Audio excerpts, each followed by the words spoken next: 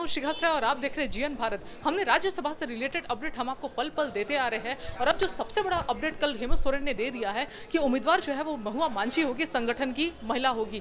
ऐसा माना जा रहा था कल्पना सोरेन को हेमंत सोरेन उतार सकते हैं, लेकिन सारी अफवाहें मानो सिरे से खारिज कर दी गई जब हेमंत सोरेन मीडिया के सामने खुद आकर ये बातें कहते हैं कि महुआ मांझी होगी। जी हाँ एक मिनट के लिए सबके लिए शॉकिंग था, और सबके लिए इसलिए कि हम अभी फ़िलहाल आप देख सकते हैं बैकग्राउंड में कि हम कांग्रेस भवन में मौजूद है, और कांग्रेस भवन में फ़िलहाल एक बैठक चल रहा है। जी हाँ बैठक होगी, बैठक के बाद क्या कुछ होगा वो हम आपको बताएँगे। लेकिन बैठक बहुत इंपॉर्टेंट है। ऐसा माना जा रहा था कि कांग्रेस के तरफ़ से कोई उम्मीदवार उतेगा राजेश ठाकुर और सुबोध कांत साहे जैसे बड़े बड़े नाम शामिल थे। कई सारे मीटिंग्स भी हो रहे थे इसको लेकर। हेमंत सोरेन दिल्ली भी गए थे, मुलाकातें की थी। लेकिन सारी बातें मानो एक झटके में हेमंत सोरेन ने मिट्टी में मिला दी है और इसको देखते हुए कांग्रेस में भी बहुत गुस्सा का एक गर्माहट का माहौल देखा जा रहा है। हमने संगठन की महिला सदस्य दीपिका से भी बात करने की कोशिश की, जो हम आपको सुनाएँगे। लेकिन सारे संगठन के जो ये लोग हैं, वो बहुत गुस्से में है। अब ये गठबंधन पे ये जो राज्यसभा का जो उम्मीदवार घोषित हुआ है, इसका कांग्रेस जेएमएम के गठबंधन पे क्या असर पड़ेगा, ये तो आने वाला वक्त बताएगा। लेकिन फ़िलहाल इस संगठन की जो महिला सदस्य है दीपिका ने खुलकर अपनी बातों को जीएन भारत के साथ रखा। आइए, सुनते हैं उन्होंने क्या कुछ कहा। ऐसा है ऐसा है कि एक गठबंधन तो जनता, झारखंड की जनता सामने देख रही है, जो कांग्रेस, जेएमएम और आरजेडी की है।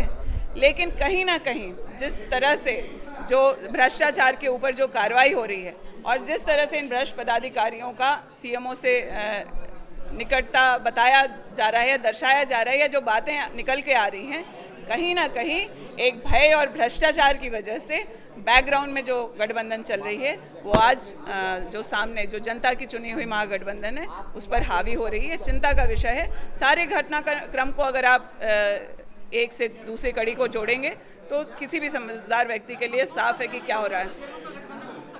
ये गठबंधन में हम लोग चुन करके आए हैं। कांग्रेस लगातार यह प्रयास करती रही है कि गठबंधन के को जो चलाने की ज़िम्मेदारी है, हम लोग उसको पूरा करें।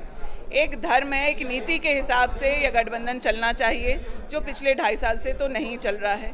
आगे हमारे आला कमान या जो हमारे वरिष्ठ नेता हैं, वो हम लोगों की बात सुन करके आगे क्या फैसला लेते हैं, वो तो उनके ऊपर है। लेकिन आज के दिन ज़रूर महागठबंधन धर्म का पालन नहीं हो रहा। मैंने किसी का नाम डाल के या किसी के खिलाफ नहीं किया है। जो ट्वीट मेरे मन में उस वक्त चल रहा था, जो जिस तरीके से गठबंधन के धर्म को नहीं मानते हुए गठबंधन धर्म की लक्ष्मण रेखा को छूते हुए जिस तरीके से जेएमएम ने राज्यसभा प्रत्याशी को दिया है और अनदेखी की है सभी के सामूहिक निर्णय की तो मुझे लगता है ये बहुत चिंता का विषय है। कांग्रेस कांग्रेस कांग्रेस की चिंता वो ना भी करें कांग्रेस की चिंता ना भी करें तो झारखंड की जन, जनता को वो जवाबदेह हैं।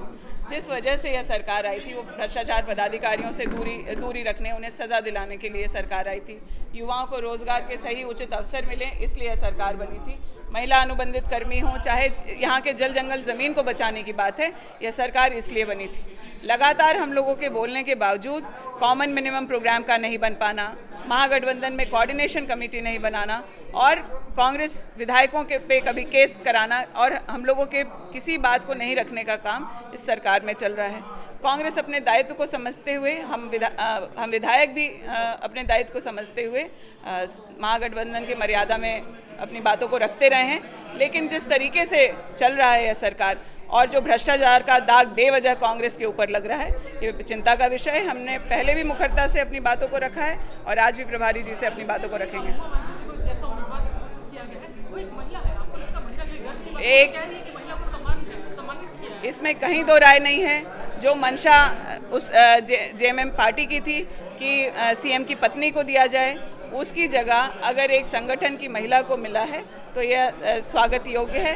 उनको मैं अग्रिम बधाई देना चाहती हूँ कि एक राज्यसभा की सदस्य, एक महिला बनेगी।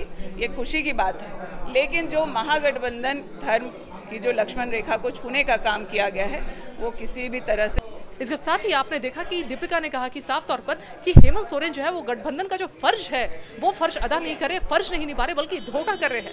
अब इतना बड़ा बात अगर संगठन के लोग कह रहे हैं तो कहीं ना कहीं इसका असर जो है आने वाले दिनों में कहीं सरकार गिरने के रूप में न दिखाई दे।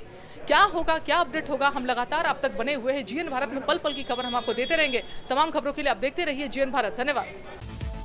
अपने राज्य से जुड़ी हर ताज़ा खबरों के लिए आप हमें सब्सक्राइब करें साथ ही बेल आइकन बटन दबाना ना भूलें।